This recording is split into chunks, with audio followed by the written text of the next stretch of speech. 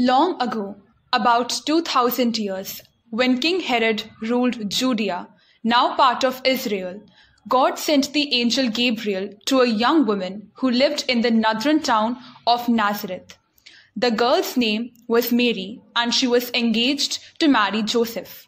The angel named Gabriel was sent to give Mary this good news. Mary says, Who are you? Gabriel replied, Peace be with you. I am messenger of God. God has blessed you and is pleased with you. Mary was very surprised by this and wondered what the angel meant. The angel said to her, Don't be afraid. God has been very kind to you. You have been chosen by God to give birth to a baby boy, and you will call him Jesus. He will be God's own son, and his kingdom will never end.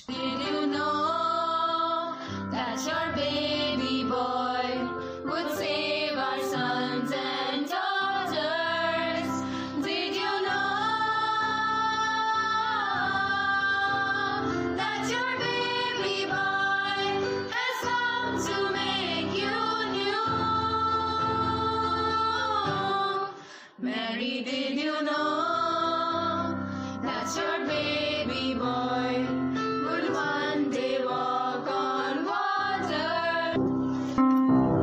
Mary was very afraid, but she trusted God. Let it happen as God chooses, she replied to the angel.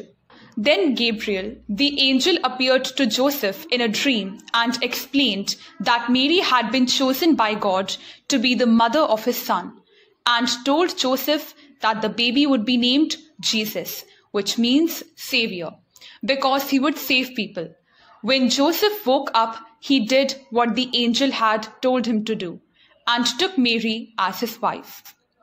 At this time, the land where Mary and Joseph lived was part of the Roman Empire. The Roman Emperor Augustus wanted to have a list of all the people in the empire to make sure they paid their taxes. He ordered everyone to return to the town where their families originally came from and enter their names in a register there.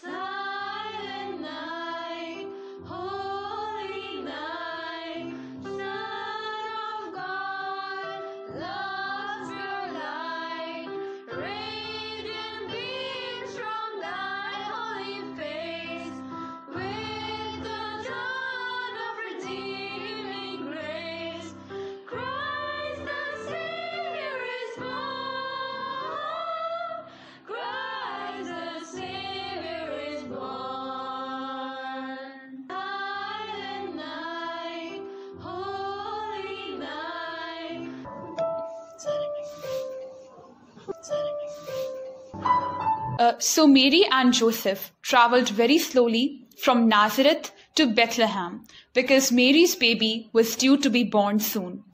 When they reached Bethlehem, they had problems finding somewhere to stay. So many people had come to register their names in the census that every house was full and every bed was taken in all of the guest rooms.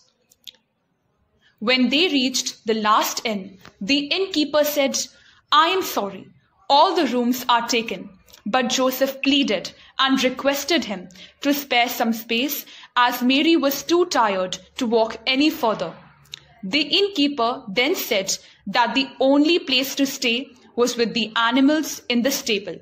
So, in the place where the animals slept, Mary gave birth to Jesus, the Son of God. Assurance,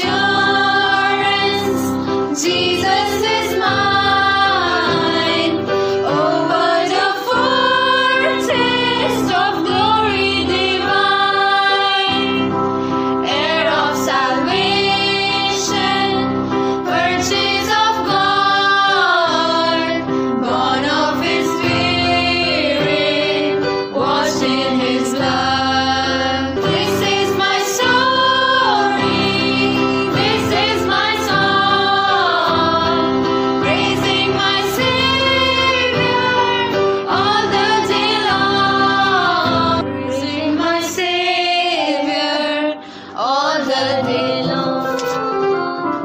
In the hills and fields outside Bethlehem, shepherds were looking after their sheep.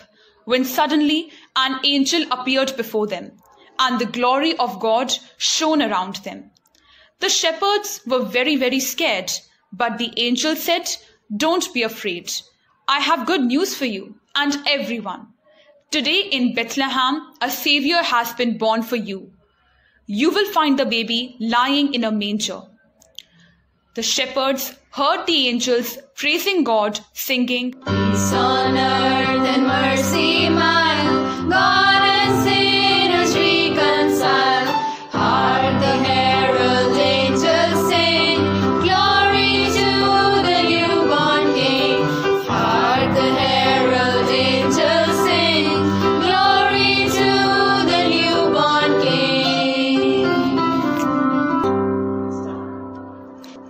shepherds followed Gabriel and went to Bethlehem and found Mary and Joseph with baby Jesus. They bowed their heads in respect to the Son of God. When Jesus was born, a brand new bright star appeared in the sky. Some wise men in faraway countries saw the star and guessed what it meant. They were very clever men that studied the stars and had read in very old writings that a new star would appear when a great king was born. They set out to find the new king and bring him gifts. The wise men followed the star towards the country of Judea, and when they got to the capital called Jerusalem, they began to ask people, Where is the child who is born to be king of the Jews? Herod, the king of Judea, heard this, and it made him very angry to think that someone might be going to take his place as king. Herod sent for the wise men to come to him. He told them to go on following the star until they had found the baby king. He said, When you have found him, let me know where he is, so that I can go and worship him. But Herod did not tell them that he really had an evil plan in mind to kill the new king.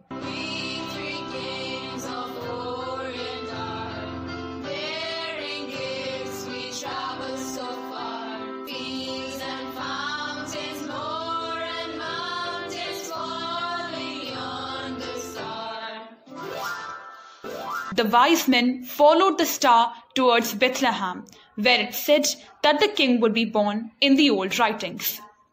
It seemed to stop and shine directly upon the place where Jesus was.